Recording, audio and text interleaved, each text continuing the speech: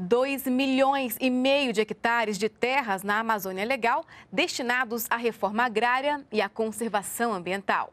A medida faz parte de uma grande ação de regularização de áreas naquela região.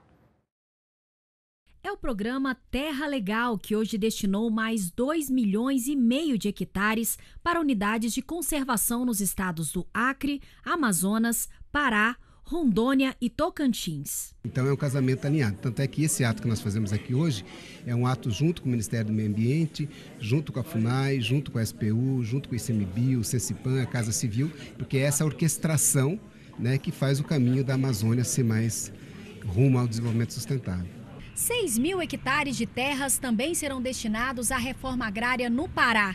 Esta é apenas uma pequena parte dos 12 milhões de hectares que o governo quer regularizar para melhorar a vida de agricultores familiares que vivem na região amazônica. Famílias que, ao receberem um título de sua propriedade, também se comprometem a preservar ou reflorestar as terras onde vivem. É o caso dos agricultores de Porto Velho, em Rondônia, que hoje receberam o título de suas terras onde vivem há 23 anos. Favorecer, por um lado, fazer um financiamento, né, uma coisa mais assim que a gente já há muito tempo tem vontade e nunca foi possível, né?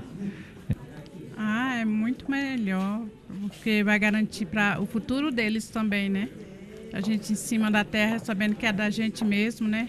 A gente fica muito agradecido por, por tudo.